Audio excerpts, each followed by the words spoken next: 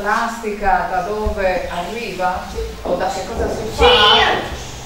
Al petrolio arriva. Il petrolio, che è una sostanza naturale oppure è una sostanza che ha inventato l'uomo? È un inquinante.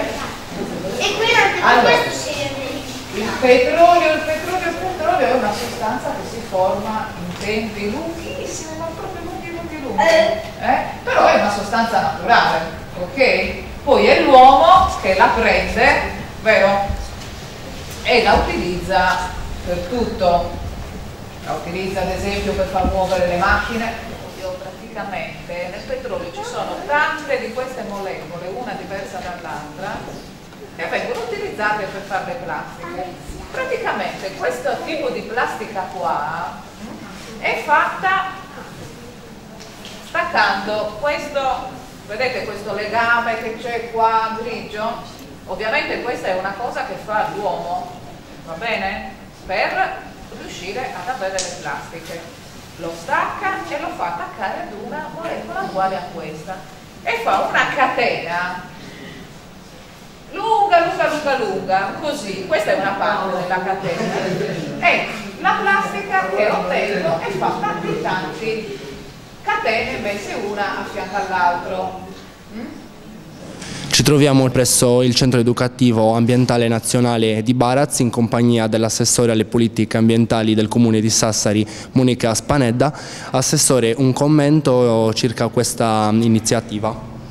È un'iniziativa che noi giudichiamo molto importante perché i primi destinatari sono i bambini, del, quindi in via- nell'età dello sviluppo, che avranno la possibilità di approfondire la vita e la nuova vita eh, di materiali quali alluminio, plastica, carta e vetro. L'obiettivo della mostra è quella di far capire loro eh, quali sono le materie prime che poi formano questi, questi materiali e soprattutto come possano essere impiegati piuttosto che finire nella discarica. Oltretutto una riflessione che vogliamo fare insieme ai bambini è quella sullo sviluppo sostenibile, sul consumo consapevole, nel senso che molto spesso oggi la vita degli oggetti è legata fondamentalmente ad un battito di ciglia determinato dalla pubblicità. Il concetto invece è che gli stessi oggetti possano essere eh, riciclati, recuperati e donati eh, ad altri e dotati di nuova vita è un, aspetto che ha una valenza educativa molto importante. Quindi noi coinvolgendo le scuole soprattutto e poi anche gli adulti nel fine settimana contiamo proprio di sensibilizzare la popolazione alle tematiche del- dei rifiuti e del riciclaggio, anche perché a Sassari è un problema estremamente sentito. Ci troviamo con Adriana Casu, curatrice de- della mostra insieme alla, a Lucia Ligios. E, una- volevamo un commento sul- su questa mostra, come è nata quest'idea, la sua progettazione.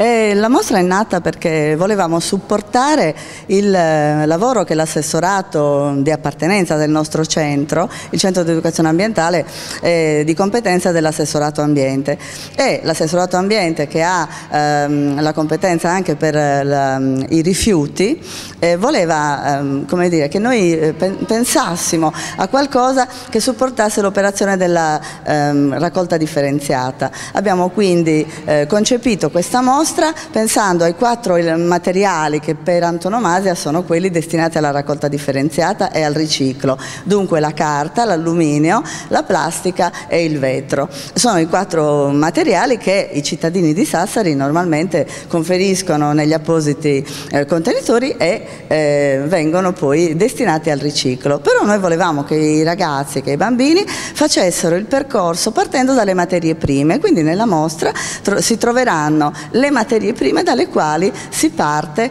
per poi ehm, arrivare all'oggetto che verrà poi consumato. Una eh, sezione mh, della mostra ehm, de- è destinata proprio al eh, tema della, ehm, ric- del riciclo, con la mh, esposizione di alcuni materiali eh, prodotti dalle aziende esclusivamente con materiale riciclato e che sono reperibili normalmente in, eh, in commercio perché anche le industrie industrie si stanno adeguando e quindi eh, utilizzano mh, mm, mm, sia le industrie che utilizzano l'alluminio che quelle del vetro, che quelle della plastica, che quelle della carta, utilizzano prevalentemente mh, materiale riciclato perché è anche più economico.